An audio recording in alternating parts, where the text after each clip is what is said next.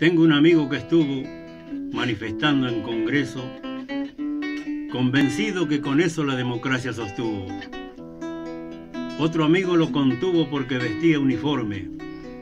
La vida hizo que se forme cada cual en forma honesta y en el medio la protesta les abrió una herida enorme. Uno revolucionario, idealista de los buenos, por los derechos ajenos luchó siempre solidario. El otro, arriesgando a diario, eligió por vocación ser parte de un pelotón que llaman antidisturbio. Plazas, estadios, suburbios son su escenario de acción. Ayer se vieron de frente, bajo una lluvia de ripio. Uno, fiel a su principio, anárquico y combatiente.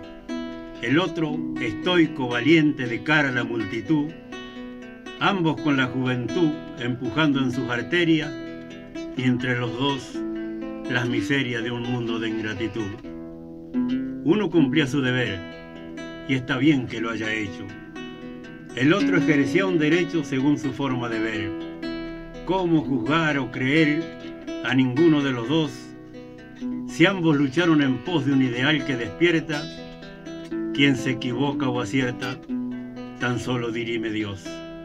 La realidad, lo más triste, es que ni uno ni otro importa a quien reparte la torta y con caros trajes viste. Cómo se estirpe ese quiste de corrupciones funestas, de violencias manifiestas y fanatismo salobre, peleando pobres con pobres, desangrándose en protesta. Todos tiramos la cuerda y sumamos al estrago, tildando de negro, vago o de milico de mierda. Hoy mi amigo no se acuerda qué fue lo que le pasó. Sabe que se despertó con una herida monstruosa, producto de una baldosa que hasta el casco le partió. Mi otro amigo apenas toma agua por la comisura. Un bastón la dentadura le barrió y también se asoma de varias postas de goma una lesión en el cuello. Uno me habla de atropello, el otro fue reprimido.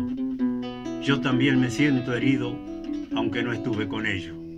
Y aquí estoy, justo en el medio, sin saber en realidad si es peor que la enfermedad muchas veces el remedio.